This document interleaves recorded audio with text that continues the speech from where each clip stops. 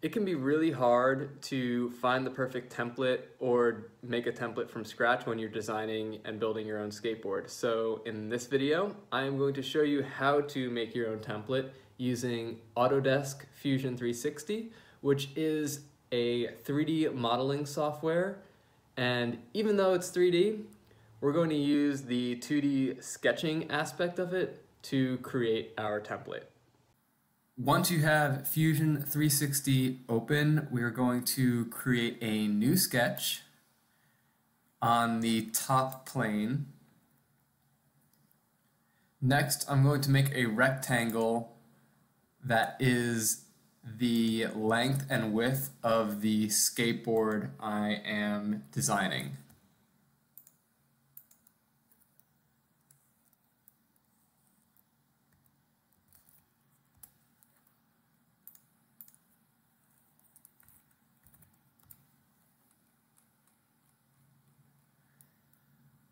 Once I have the rectangle, I'm going to make two center lines, both a horizontal and vertical center line. And the skateboard I'm going to be making is fully symmetrical or symmetrical about both the horizontal center line and the vertical center line. So I'm going to be using the mirror functionality to generate a lot of the curves. If your board is asymmetrical, you simply will just create the other half of your design and not mirror it. Before I like before I start to make the curves, I like to position my wheelbase and where that is going to be.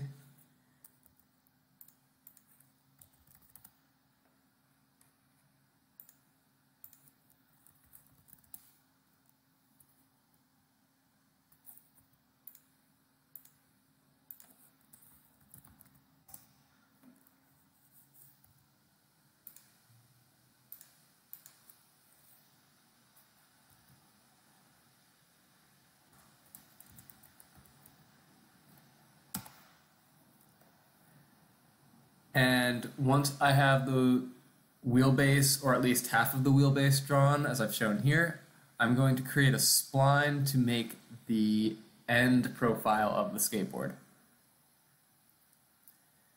The spline option that shows up in the toolbar right now on this version of Fusion 360 is a fit point spline, but I actually prefer to make a different type of spline. So if I click on create and spline, I am going to make a control point spline.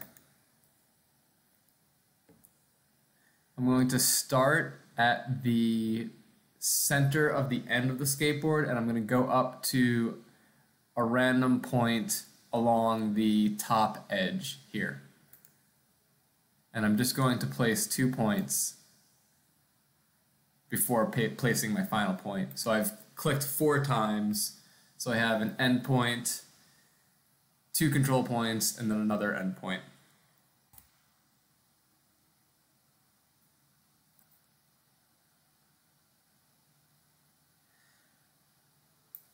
Looks like I clicked too many times, so I'm gonna redraw that.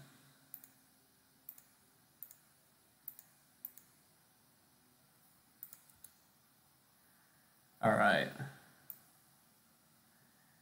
And then I like to put the control points along the vertical edge and horizontal edge as shown here.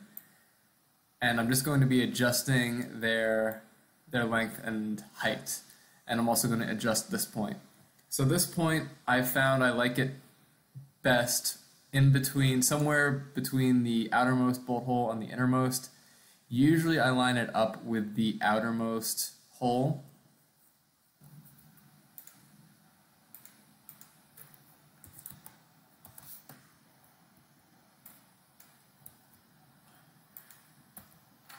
And since I can't dimension that as zero, I'm going to create another line here, change it to, to a construction line.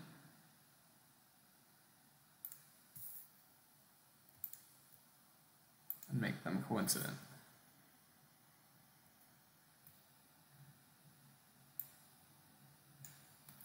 Now I think if I mirror this, I can still adjust this and it'll uh, adjust the mirrored spline. So I'm going to give that a shot.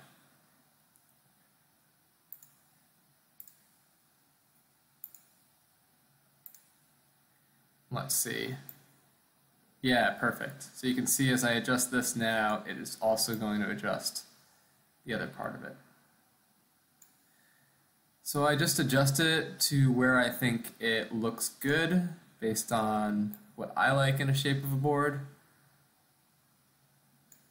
or what will be most helpful for the skater this board is going to be for. And then I can just mirror these two splines over this line to get the exact same thing on the opposite side. Or if I want it to be slightly different, I would just repeat this whole process on the right side.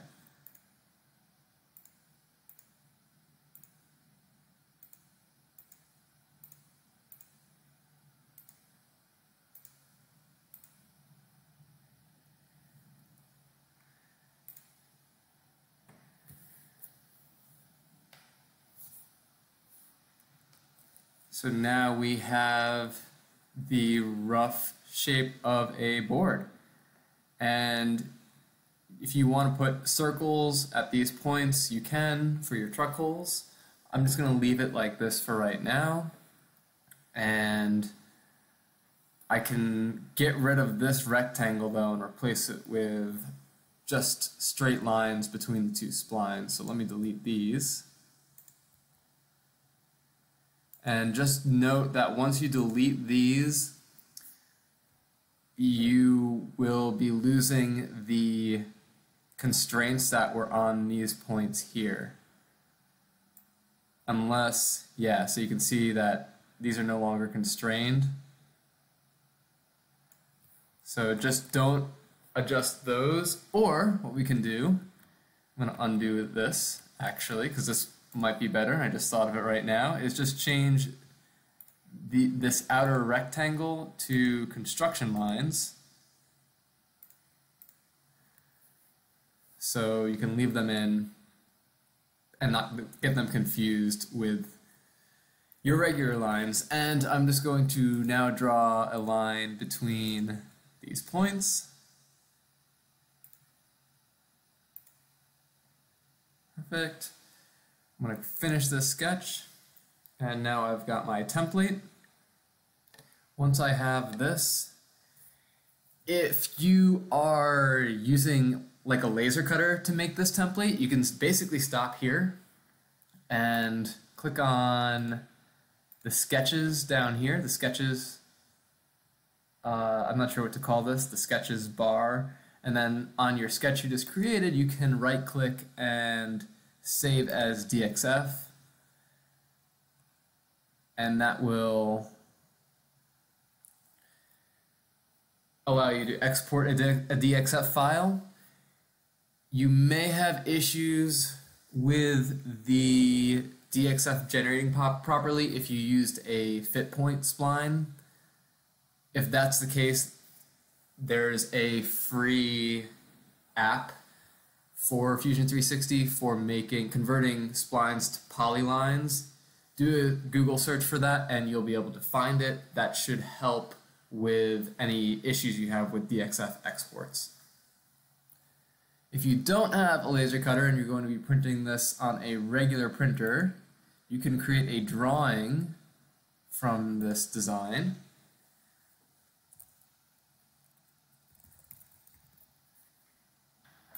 One last thing I need to do before I save this for printing is I want to add some rectangles that are a little bit smaller than a sheet of paper on here. So I'm going to reopen this sketch and I'm going to make some rectangles that are seven and a half by 10 inches.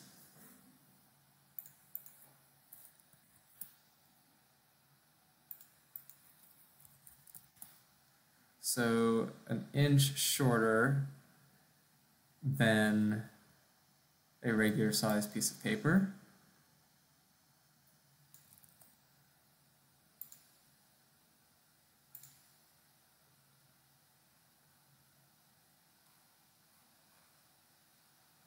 I want to just put some points at the midpoints of some of these edges. So that I can then snap like that.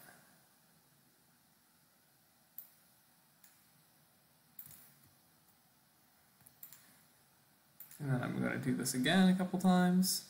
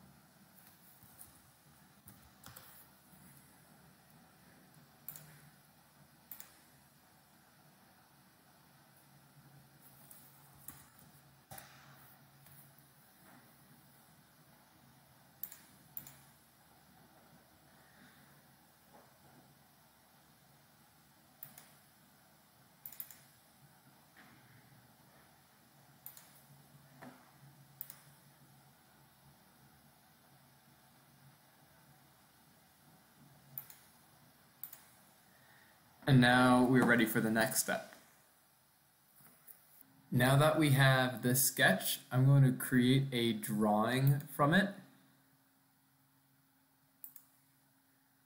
And I'm going to change the sheet size to size A, which is just standard, like a standard sheet of paper. Click OK. If you have a big printer like a plotter that can print this out full scale on a big sheet of paper, then you don't need to do that, and you can. This this next step would be a lot a lot easier for you. But I'm just going to assume that you are using just a standard printer.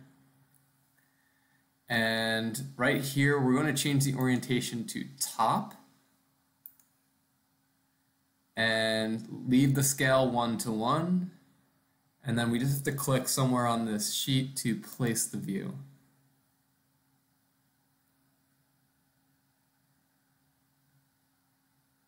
And then just hit OK. So here's our board. You can see it does not fit on the sheet of paper, which is totally fine. I'm going to delete this template that was on this sheet, or the title block, and I'm going to drag this view like this so that one of those boxes I drew is roughly centered inside the sheet of paper. Just make sure the entire box is inside the sheet. I want to then use this output button and output a PDF. So I'm going to output all sheets. I'm going to open the PDF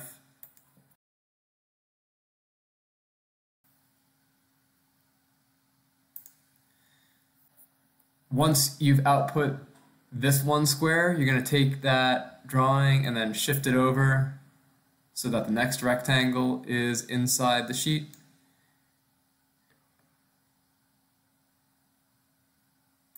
And you're going to do the same thing, output PDF, all sheets. Okay. Or this should actually be indexed so that you don't you don't want to overwrite what you just created.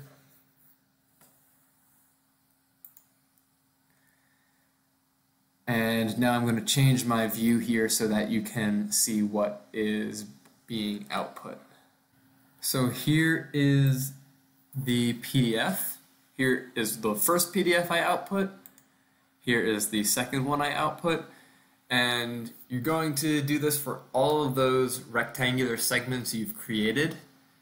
And when you print this out, you're going to line up the sheets with the lines that you've created here. So these rectangles, if you know, you know that this line showing up right here is equivalent to this line right here. And I didn't do it in Fusion 360, but it probably would be a good idea to get rid of this outside border too, just to eliminate any additional confusion, and I think you can do that. If I click on this. Yeah, so I would do that next time as well. And make sure that when you print this out, you print at full scale and measure your board when you print it out. Measure the template when you print it out just to make sure the scaling is all correct. You can do this with long boards too. Your splines might just be a little bit different. And you can do this for any size board. You just have to reposition the template on the sheet in Fusion 360 differently for however big it is. Once you've got it printed out, you can tape it all together, cut it with some scissors, and then lay it over your board. So that's all there is to it. And if you have any questions, you can post those to the forums at opensourceboards.com. Also, just keep in mind that if you are making a paper template, um, not using a laser cutter, when you lay the paper template over a curved board, that will change the profile slightly. It's, it's not the same as simply projecting that top view onto a board. When you lay it on, the board will get a little bit shorter, and depending on how much concave you have, it might get a little bit narrower at the concave. So you may need to make some compensation in the design when you are creating the template. I hope this all helped, and have fun making boards.